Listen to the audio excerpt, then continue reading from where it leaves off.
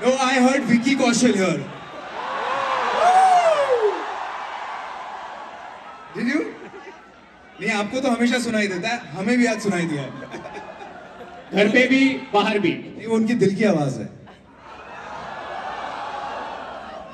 Would you agree to that?